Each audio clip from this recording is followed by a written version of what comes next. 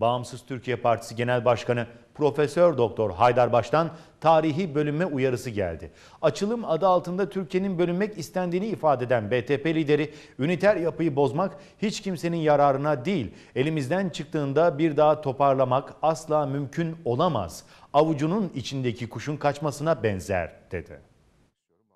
Partisi Genel Başkanı e, Profesör Doktor Aydarbaş hocamız. Hocam hoş geldiniz. Hoş bulduk. E, hemen Bağımsız Türkiye Partisi Genel Başkanı Profesör Doktor Haydarbaş konuk olduğu Diyalog özel programında terörle müzakere sürecini değerlendirdi. Efendim mahkemesini kurmuş.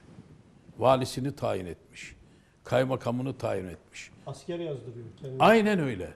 Polisi var, jandarması var. Hepsini ortaya koymuş. Terör örgütünün bölgede kendi sistemini kurduğunu söyleyen Haydarbaş, üniter yapı korunmalı dedi. Biz terk milletiz. Bir bileğiz, bir yüreğiz. Başka değil. Bu kardeşlerimizi aldattılar, kandırdılar.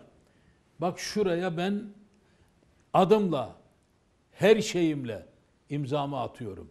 Eğer bu zihniyet orada da devam ederse bu kardeşlerimizin kaderi aynen Filistin'in kaderi gibi olur. Siz bunu 20 yıldır söylüyorsunuz. Aynen öyle. Allah muhafaza etsin. O zaman yani onlar da bir huzur bulamayacak, rahat bulamayacak. Niye? Ya öte yandan adamlar Büyük İsrail'in temelini attılar. Barzani'yi işin başına geçirdiler. Yani o büyük harita bizim haberimiz olmadan genişliyor. Ama Hızar'ın ağzına giren de bizim e, güneydoğumuzdaki kardeşlerimiz. Bunların ayıkması şart. Onların kaderi Türkiye Cumhuriyeti Devleti vatandaşlarıyla beraber olmak, bir olmaktır. Ha, onlara huzuru, saadeti, mutluluğu, bolluğu, dostluğu yaşatacak olan da Allah'ın izniyle bizim kadromuzdur. Bunda kuşkuları olmasın. Benim bir manevi çok sevdiğim dostum var. Büyüğüm var, ağabeyim var. Baba da diyebilirsin. Zaza Kürtlerinden ya. Bunun daha ötesi yok. Onun e, vekili olan zat, o da Kürt oğlu Kürt. Abdurrahman Halis Taleban, o da Kürt. Berzenci, Kürt. Ya bunlar benim manevi büyüklerim. Sen benden nasıl ayrı olabilirsin? Ben seni peygamberin yerine vekil görüyorum. Ha bunları bilmiyor bu arkadaşlar. Onun için bizim kaderimiz bunlarla beraber olmak bir olmaktır. Bunu yaptığımız zaman Mustafa Kemal Atatürk'ün arzu ettiği, istediği hem bağımsızlığa kavuşacağız ve hem de bir ve beraber olacağız. Yani bunun başka üniter yapıyı bozmak hiç kimsenin faydasına değil. Elimizden çıktı mı bir daha tutmak asla mümkün olamaz. Avucunun içindeki kuşun kaçmasına benzer. Diyalog özel programında İslam dünyasını kan gölüne çeviren Büyük Ortadoğu projesi de gündeme geldi. Bu projeyi bazı sözde İslami çevrelerin büyük bir nimet olarak gördüğünü ifade eden BTP lideri şöyle konuştu. Yani bir Müslüman bunu diyemez ki. Yani Büyük Ortadoğu projesiyle yapılan iş nimet. nimet olacak. Artı milletin namusu gidecek. Vatanı gidecek. Devleti gidecek. imanı gidecek. Ve bu nimet olacak. Böyle bir şey olabilir mi ya? Ya şimdi camide beş vakit namazını kılan Hacı Hoca Efendi Amerikasız olmaz diyor. Evet. Allahu Ekber diyor. Allah en büyüktür. Ondan sonra namaz bitiyor konuşuyorsun Amerikasız olmaz. Hristiyansız olmaz yani. Yani hayır oğlum hani en büyük Allah'tı. Bunlar Hazreti Musa döneminde yaşasalar ne yaparlardı acaba hocam? Allah muhafaza etsin ya. Enteresan. Bu milleti ayıktırmak farz yahu. Böyle şey olabilir mi? Allahu Ekber.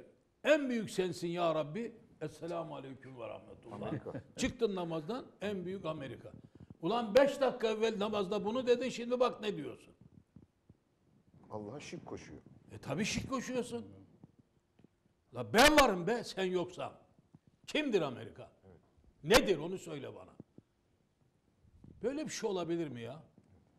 Herkesi kendileri gibi ne bileyim düşük seviyesi olmayan, çapı bulunmayan, gururu olmayan, haysiyeti olmayan, şerefi, izzeti, namusu, fetaneti ve hatta ahlakı olmayan zavallı bir şey kabul ediyor ya. Böyle bir şey olabilir mi?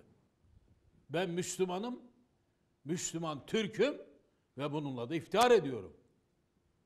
Ha sen müsaade et, bak lan neler oluyor. Müsaade de etmiyor. Onun propagandasıyla onu dinliyor, bize oy vermiyor. Profesör Doktor Haydarbaş programda Türk milletine de seslendi. Milletin acilen bunu görmesi, bu çürük gemiden ayrılması lazım. Bunlar 13 yıldan bu tarafa Türkiye Cumhuriyeti'nin siyasetinin başındadır. Bugüne kadar bir şey yapamayan, bundan sonra hiçbir şey yapamaz ya. Arkadaşlarımız lütfen bunu görsünler. Ha ara sıra bizim projelerimizi seslendiriyorlar. Hayata geçirmeleri mümkün değil. Batmış kapitalist sistemle beraber Türkiye'yi nereye getireceksin? Ya bugün bugün kapitalizmden Batı kaçıyor. Kapitalizmden Amerika kaçıyor. Sistem arayışında Haydar Hoca'nın kucağına doğru koşuyorlar. Sizin yaptığınız işe bak. Milletimize çok büyük vazife düşüyor. Bunu görsün. Evet. Şimdi bir meseleyi daha burada huzurunuzda ifade ederek milletimizin ayıkması gerektiği bir konuda şudur. Bir adamın arkasında Avrupa, Amerika var, doğrudur. Yok ya. Avrupa'nın, Amerika'nın arkasında olduğu adam mutlaka Avrupa ile Amerika ile dirsek temasında onların dediğini yapma noktasındadır. Aksi takdirde bizim dediğimizi uyacaklar, bizimle beraber yürüyecekler. Böyle bir şey yok. Asırlar boyu bu böyle olmuştur. Hiçbir noktada Avrupa bizimle beraber olmadı. Şimdi nadim oldu bize döndü. Bunu mu demek istiyorlar? Böyle bir şey yok ya. Böyle bir şey yok. Eğer biz bu hatamızda ısrarla devam edersek sürüneceğiz.